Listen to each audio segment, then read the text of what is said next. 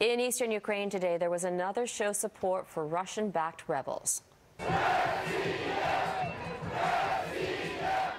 More than a thousand pro Russia demonstrators gathered in Donetsk. They called on Moscow to protect them from the Ukrainian military. Kiev blames the rebels and Russia for the escalating violence. And caught in the middle, those who have little to do with the conflict. Here's Mike Armstrong. The Mikhailov family has a lot more to worry about than the occasional barking dog. Olga and Vladimir are raising their four children in Slovyansk right now, basically in a war zone.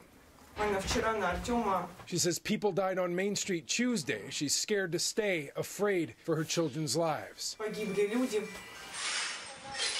Even the local hospital was hit this week, a mortar blowing a hole in a wall and debris damaging two buildings, one of them a facility for diagnosing children's diseases. For the Mikhailov family, recent weeks have been traumatic and getting worse and worse. Vladimir points to a nearby park where shells hit a few days ago. The house shook, he says. We spent all night in the basement. Some of the heaviest fighting in recent weeks has been in and around Slovyansk.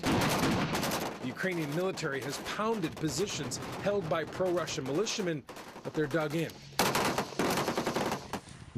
The military had its most deadly day of the conflict Thursday when a government helicopter was shot down in Slovyansk. 14 soldiers were killed, including a general.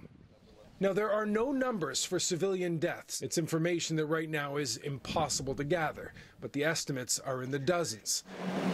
Slovyansk would normally have 120,000 people, but many have left and more are leaving.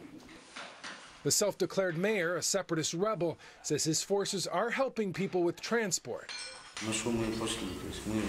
He says children should be taken out first. That's what he's working on primarily.